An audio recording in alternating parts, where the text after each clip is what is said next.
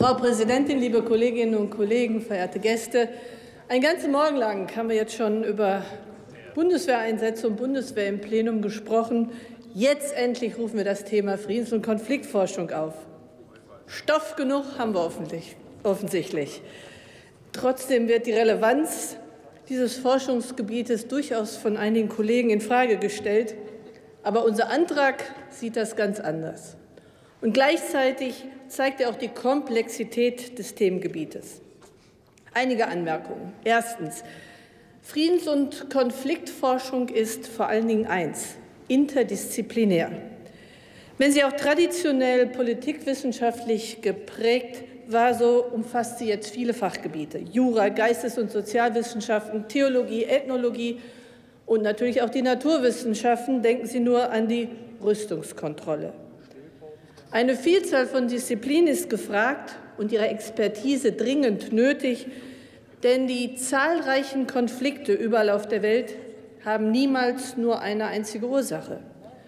Und entsprechend kann man ihnen sinnvollerweise auch nicht nur mit einem einzigen Ansatz begegnen. Nur auf Militär zu setzen, geht nicht.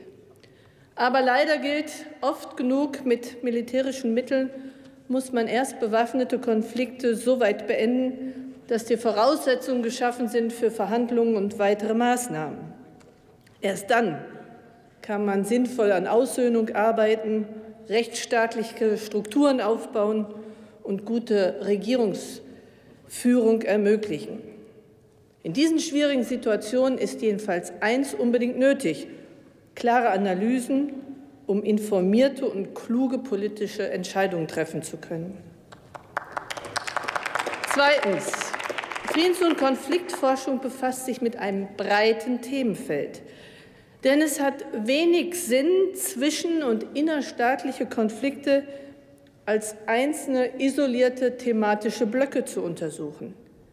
Im Blick nehmen muss man immer ganze Kontexte. Konflikte sind etwa Ursache für Flucht und Vertreibung. Und die Folgen von Flucht und Vertreibung sind oft genug wieder Ursachen für neue Konflikte. Ein Beispiel will ich aufführen. Aktuell fördert zum Beispiel das BMBF ein Verbundprojekt Flucht, Forschung und Transfer, das Kenntnisse über Gewaltmigration und Fluchtursachen bündelt. Diese Fluchtforschung bezieht explizit die Auswirkungen von Gewalterfahrungen mit ein. Wir wissen es, sie sind für die Radikalisierung von Menschen oft von zentraler Bedeutung. Es geht in dem Projekt aber auch um die spätere Reintegration von Flüchtlingen. So wird analysiert, wie die Rückkehr von Geflüchteten in ihre Herkunftsländer denn irgendwann einmal gelingen kann, ohne dass dort vor Ort neue Konflikte wieder gleich geschaffen werden. Welche Bedingungen müssen dafür in der Heimat äh, geschaffen werden, welche aber auch in der Zwischenzeit in den Aufnahmeländern? Zunehmend, das wird jetzt schon klar, geht es also auch um Themen, die uns hier in Deutschland direkt betreffen. Es geht um innere Sicherheit und die Bedingungen gesellschaftlichen Friedens hier bei uns. Hochaktuell das Projekt zur Erforschung des Salafismus in Deutschland, das von der Hessischen Stiftung für Friedens- und Konfliktforschung in den letzten zwei Jahren durchgeführt wurde. Es liefert einen Überblick über das Wissen, das wir über Salafismus bei uns schon haben, aber auch darüber, welche Daten und Erkenntnisse uns denn noch alles fehlen, zum Beispiel über Anwerbepraktiken, um daraus wirkungsvolle Maßnahmen zur Prävention dann auch mal ableiten zu können. Und noch ein drittes will ich sagen, Akteure der Friedens- und Konfliktforschung sind ebenso vielfältig wie die Disziplinen und die Themen und sie arbeiten aus sehr unterschiedlichen Perspektiven. Schauen wir mal auf die Akteure. Da gibt es äh, das ganze Spektrum von der Universität der Bundeswehr über das Institut für Friedensforschung und Sicherheitspolitik an der Uni Hamburg bis hin zum Leibniz-Institut in der Hessischen Stiftung. Wir fördern diese Träger in der ganzen Breite und sollten das so bewusst auch in Zukunft tun.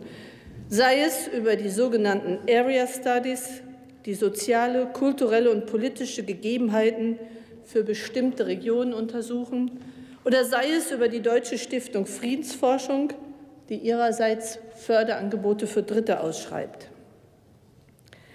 In der Debatte zu unserem Antrag im Forschungsausschuss wurde schon deutlich, dass äh, die Kollegen von der Linken der deutschen Friedens- und Konfliktforschung gerne pauschal Regierungsnähe unterstellen. Umgekehrt äh, halten einige CDU-CSU-Kollegen von mir die ganze Szene für links unterwandert. Also ich finde, wenn beide Seiten sich aufregen, ist das schon mal kein schlechtes Zeichen. Denn mir ist eine plurale Trägerstruktur in diesem Forschungsfeld besonders wichtig. Wir sollten als Politiker nicht bestimmte Träger bevorzugen oder gar Ergebnisse in Auftrag geben, sondern unsere Aufgabe sollte es sein, einen Rahmen zu setzen, in dem dann die verschiedensten Akteure unabhängig forschen können. Wir haben aber auch durchaus einige sehr konkrete Anliegen.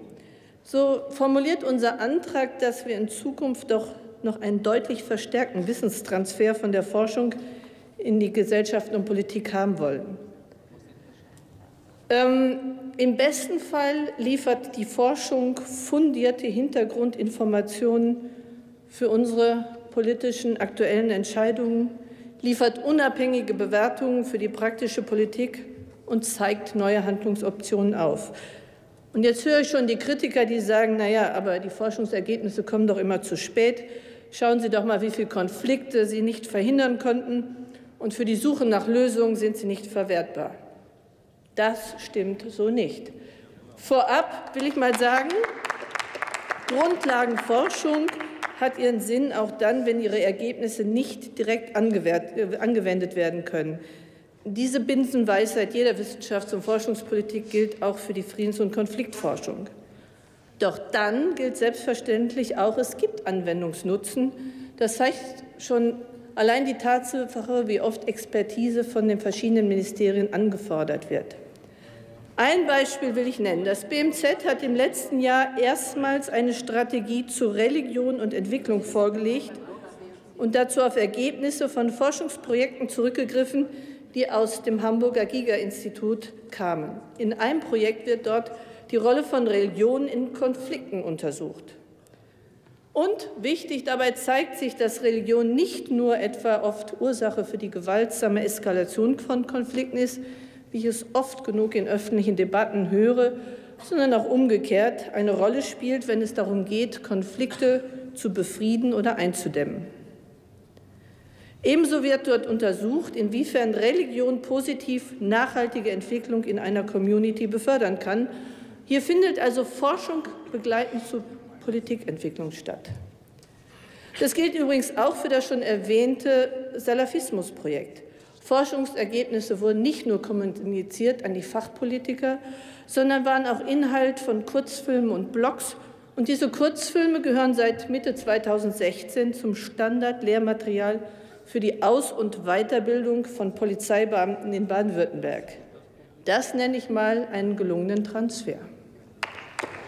Trotzdem, in anderen Punkten unseres Antrags fordern wir auch und machen deutlich, wie wichtig ist, dass es eine Evaluierung, eine unvoreingenommene Evaluierung des gesamten Forschungsfeldes, am besten durch den Wissenschaftsrat gibt, um einfach da auch noch mal Erkenntnisse zu gewinnen, wie man die Sachen verbessern kann.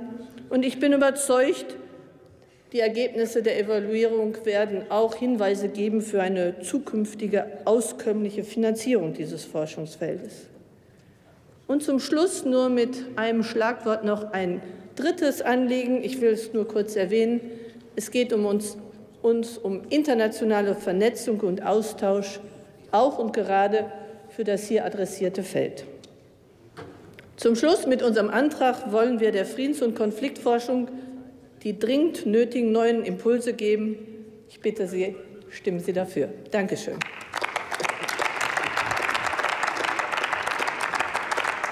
Vielen Dank. Als nächster Redner hat Ralf Lenkert für die Fraktion Die Linke das Wort.